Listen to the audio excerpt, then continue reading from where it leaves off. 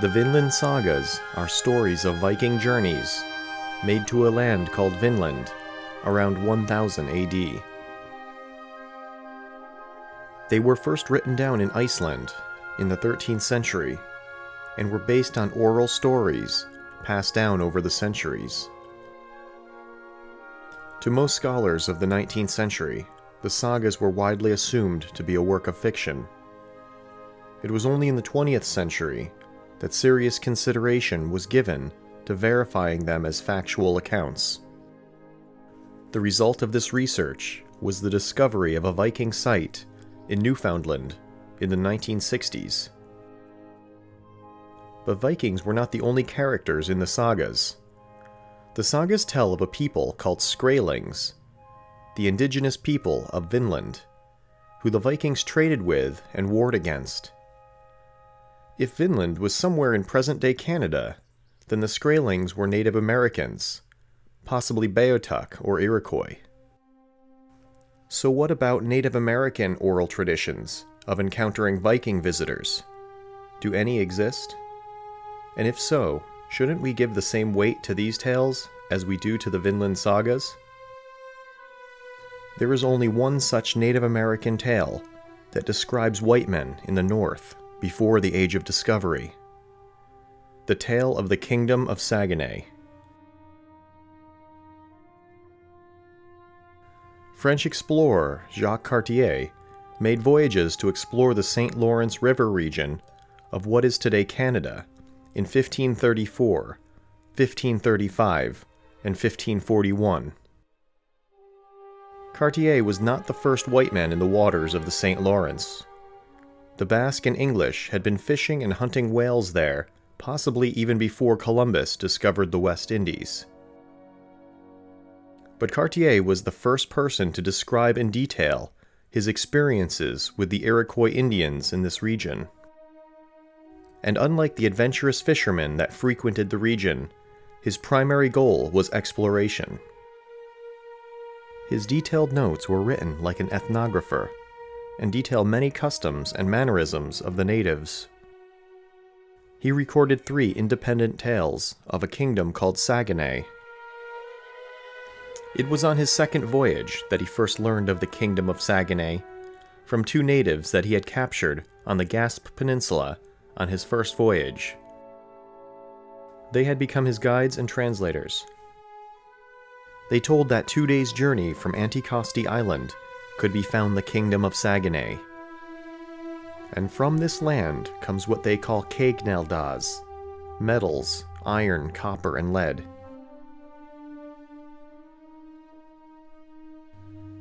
As Cartier sailed westward, he reached the Iroquois village of Stadacona, what is today Quebec City.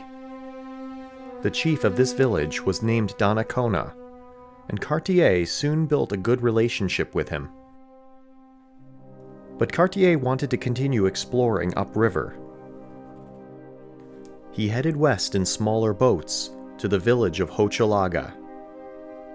Here he found a fortified town below a small mountain he called Mount Royal, what would later become the city of Montreal. Cartier attempted to gather information on the territories that lay beyond the village, even though he lacked a proper interpreter. It was at this time that a native grabbed the silver chain that hung Cartier's whistle around his neck and a polished brass dagger handle.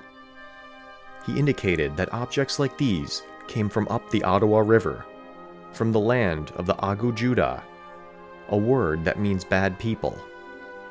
These people were heavily armed, wore wooden armor, and waged incessant war.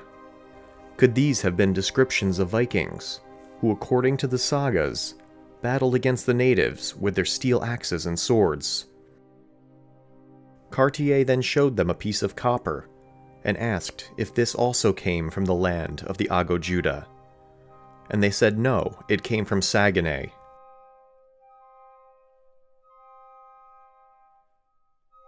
Cartier then returned to Stadacona and learned more details about the kingdom of Saguenay from Donnacona and other prominent natives.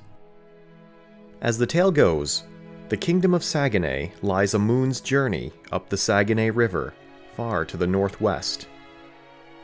But also noted that the more direct and safer route is from a tributary of the St. Lawrence River that flows from the north beyond the village of Hochelaga.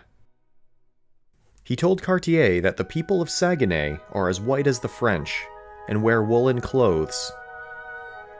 That the towns are composed of honest men who possess great stores of gold and copper.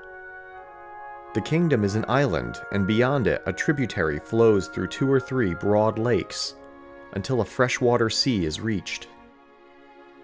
Saguenay was the only story they were told of a land of white men in the Americas. And of course, this story could have been fabricated to appease Cartier's desire for information. But it seems like a strange coincidence that Saguenay lies somewhere in the St. Lawrence River region, the same region that has all the characteristics of Vinland.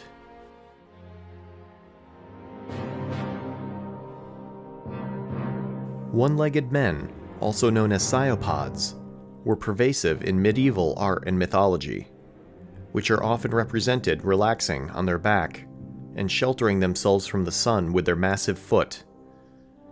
A tale of a sciopod exists in Eric the Red saga, where a one legged man was spotted near Vinland. It darted down from a clearing to the shore, where the ship was anchored, and shot an arrow into Eric the Red's son. He withdrew the arrow but died shortly after. They pursued the Sciopod as he hopped north, but soon lost him. The region where this incident occurred became known in the sagas as the Land of the One-Legged. Donnacona told Cartier that he had been to a region where men have only one leg. It is very possible that both the Viking and Native Americans independently invented a similar monster but it is also possible that the two stories share some unknown common bond.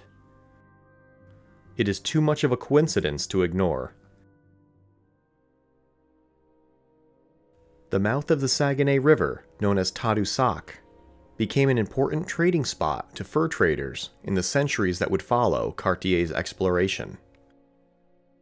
But it is possible that it was a trading location even before that time. In the saga of the Greenlanders, the natives of Vinland exchanged pelts for the Vikings' milk products and red cloth. The natives held this red cloth in high esteem, trading many pelts for small pieces of it. Could Tadu Tadoussac have been a trading location going back to the time of the Vikings? Could an exchange between Native Americans and Vikings wearing woolen clothing and trading red cloth have given rise to the story of Saguenay. On Cartier's third visit, he had found what he thought were diamonds. These were harvested from a cliff near Stadacona that would later become named Cape Diamond.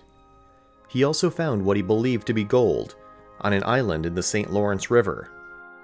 He returned to France with barrels full of these precious commodities.